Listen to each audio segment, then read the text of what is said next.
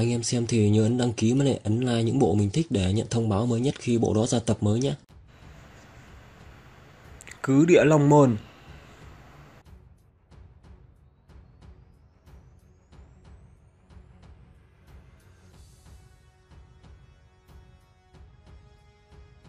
Đối diện là chiến tranh thảm liệt đến mức nào mới xuất hiện lại cảnh tượng này?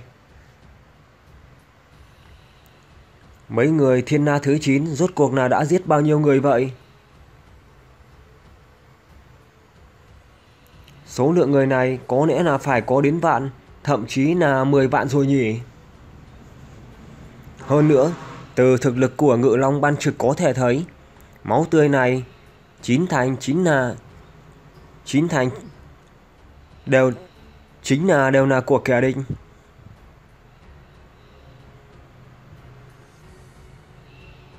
Thông đạo này sau đó rốt cuộc là luyện ngục nhân gian thế nào vậy?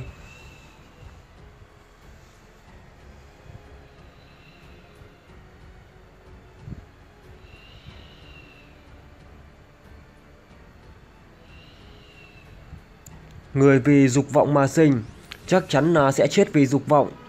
Đây có lẽ chính là túc mệnh của các lô dịch chủ. Nhưng cho dù là vậy, vẫn là giết quá nhiều rồi.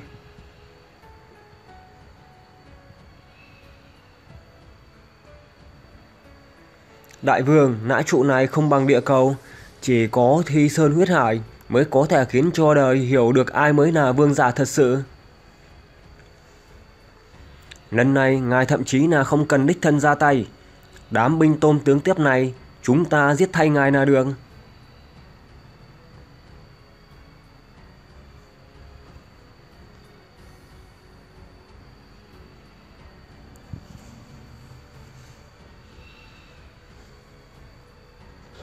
Yên tâm.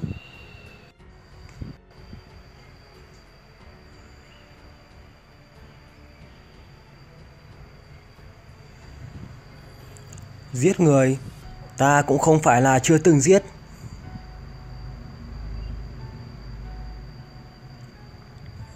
Ta không yếu ớt giống như là các người nghĩ đâu.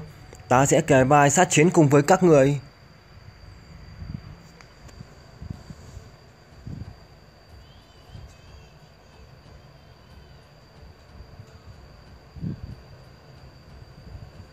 Đi thôi, lên về Lam Canh Thành rồi. Ta có một loại dự cảm.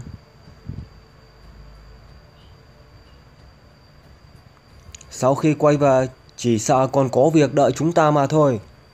Lam Canh Thành.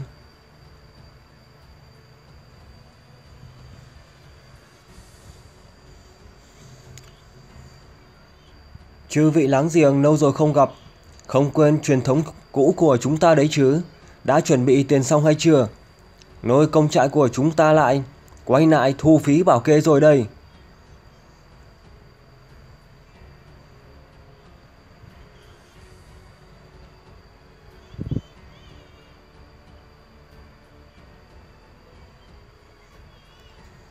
Lại quay về thêm một tên. Sau khi võ vệ quân rời đi, ngày tháng thật sự càng lúc càng quay về rồi. Ông chủ, nơi này là thế nào? Khách quan, ngài là vừa đến Nam Canh Thành hả? Loại vấn đề này vậy mà lại còn phải hỏi. Lúc trước khi võ vệ quân còn ở đây, việc sản xuất xà phòng còn có người nằm.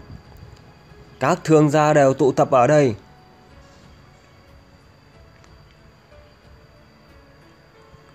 Lại có võ vệ quân càn quyết khắp lời, cho nên trong thành càng thêm phồn vinh.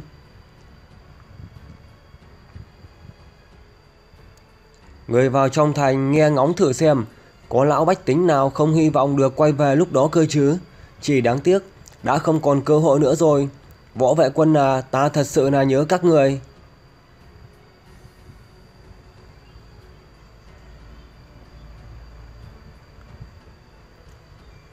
Nếu các người vẫn còn ở đây thì tốt quá.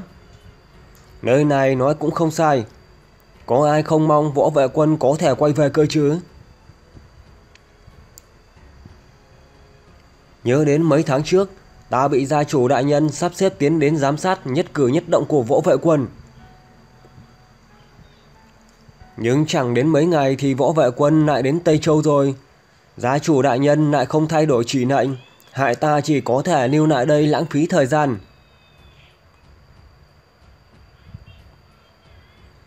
Đây là âm thanh gì vậy? Giống như tiếng bước chân vậy, tiếng bước chân của rất nhiều người, rất nhiều người. Nào quân đội, có một nhánh quân đội đang hướng về đây.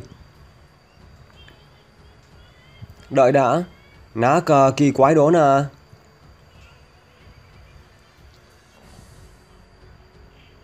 Thoát nghèo làm giàu.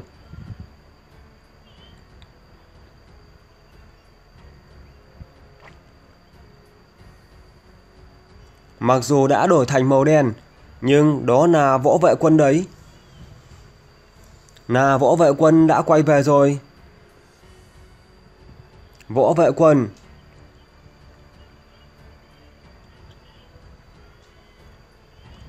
Đúng thật là võ vệ quân rồi, không phải nói bọn họ đều chết sạch rồi sao? Lá cờ thoát dầu nam nghèo, không sai đâu, ngoại trừ bọn họ có ai có thể phất được loại cờ quái dị này chứ? Cũng đúng, đi, chúng ta mau đi xem xem.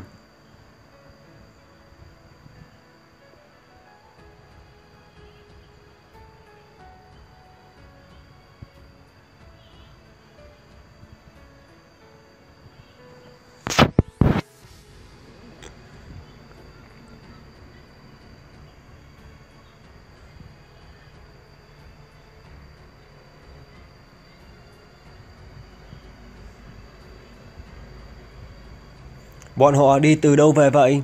Đây là đã giết bao nhiêu người rồi vậy? Lúc trước không phải bọn họ đã xuyên qua không gian thông đạo hay sao? Muốn quay về cũng phải về từ đó chứ. Ta nghe nói, không gian thông đạo ở phía Tây Điền Canh, Tây Điền Canh Trấn đã tụ tập rất nhiều lô dịch chủ. Chắc không phải đều bị võ vệ quân giết chết hết rồi chứ. Tổn thọ rồi, thật sự là võ vệ quân. Mau về nhà báo cáo đại vương tiếp tục dọn nhà thôi.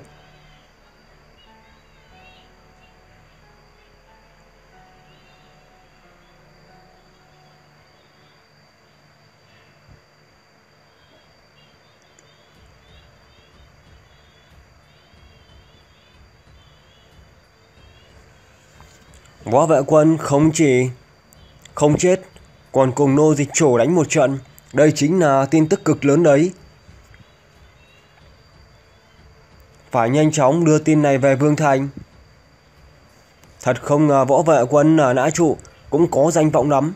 Vừa về đại bản doanh đã có nhiều người tiếp ứng như vậy. Đương nhiên,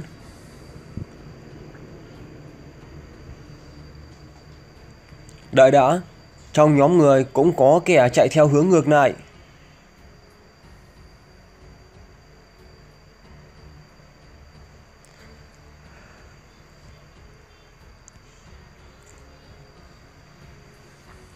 Quả nhiên, kẻ đứng sau lúc trước đã từng sắp xếp nhãn tuyến ở Nam Canh Thành. Mà võ vệ quân sau khi rời đi, chỉ sợ còn có nhiều thế lực ẩn giấu ở trong đó.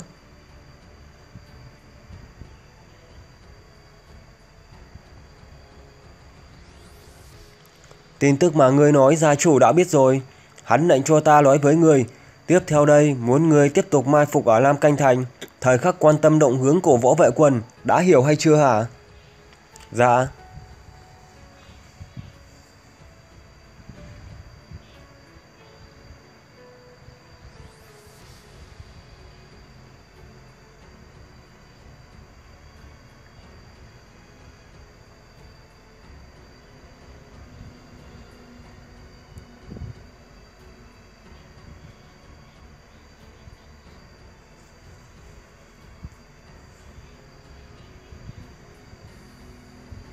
Ta nói việc gì ta cũng nói.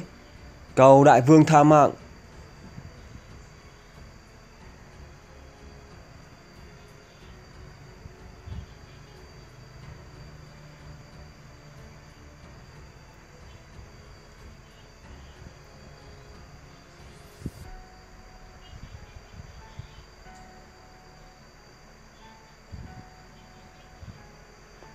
Đại vương, kẻ chạy trốn đều là đại nô dịch của các hào môn vương thành cùng với các châu.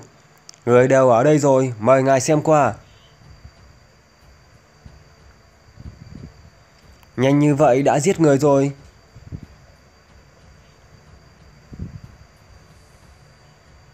Xem ra hào môn quý tộc không phải mục tiêu của võ vệ quân. Bọn họ cũng không muốn biết được tình báo gì từ chỗ đám tiểu tốt này hết. Nhưng mà những gia hỏa bị bắt đó cũng là đáng đời. Không có nhẫn nại như vậy sao có thể tra được tình báo hữu dụng gì chứ?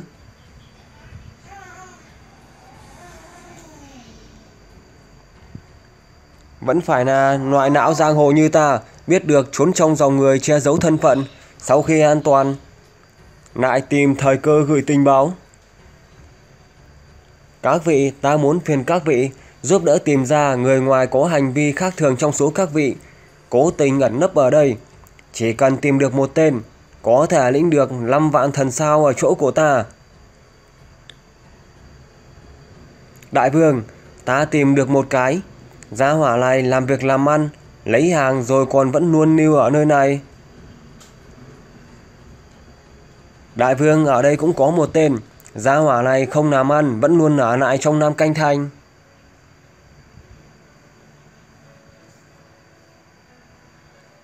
Thì ra, ta sớm đã bị phát hiện rồi sao? Giá trị cảm xúc tiêu cực đến từ tinh mình.